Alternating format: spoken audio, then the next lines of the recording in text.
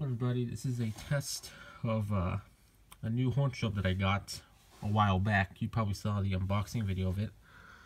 This is my Wheelock AES EL1-WM-24 uh, horn strobe.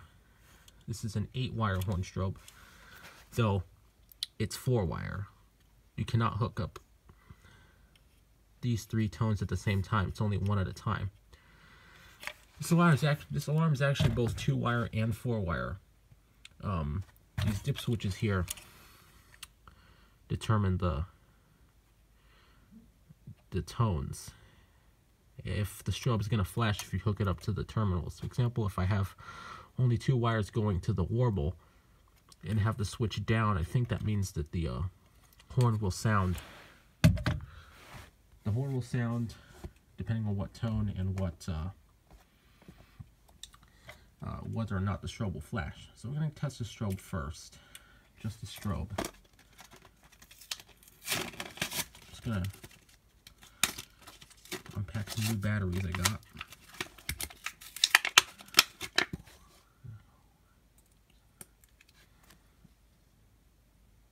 Yeah, we're good.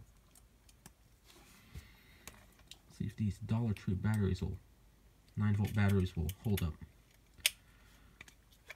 All right, let's see. Let's see, black, red. All right. This is a little bit awkward because of the way these terminals are set up. Hold on. So I'm going to test the strobe first. Just the strobe. Here we go. Is it even...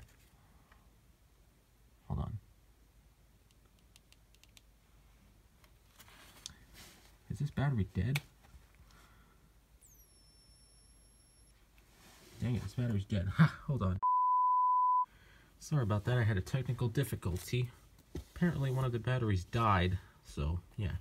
Just gonna use my power supply that I modified with leads at the end. Yeah, so they're permanently fixed to the uh, power supply. So I'm just gonna go ahead and test the strobe first, and then we'll test the tones. So right now it's on strobe, yep. That's what this job. What the heck? Did my power supply decide to die? Oh my god. Okay, retry. Apparently the uh, outlet is loose, so I had to just adjust it. So here's test the strobe.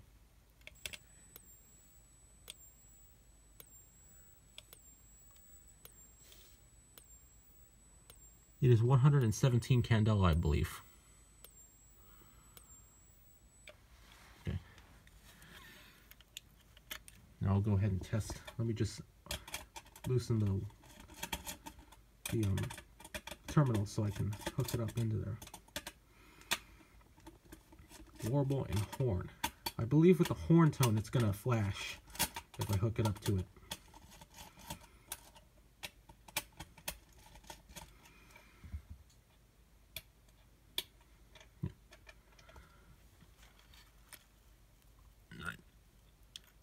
This is the siren tone.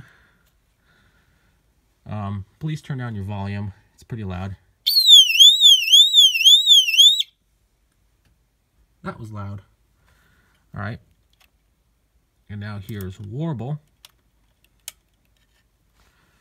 Just going to do this for a short time. It sounds just like tire siren, but more faster.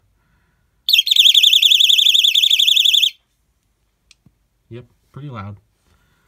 And now let's test horn. All right. Here's horn. And the strobe will flash, I believe.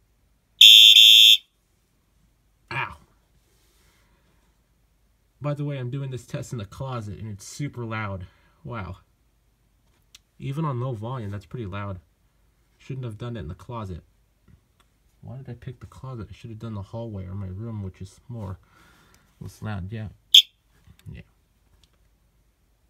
By the way, this is the same type of alarm that was seen at my high school. Or apparently this is what my high school had. Um, They had these, uh, before 2016, they had these installed in the original parts of the school. Um, I looked at, I recently looked at a transmittal, um, which had the alarm devices and names, including the panel. Well, didn't have the panel, had the devices, the pull stations, the strobes, the horn strobes. And this was on here. Now, I originally thought they had the WS strobes, the ones with the non-ADA strobes. But apparently they had these too.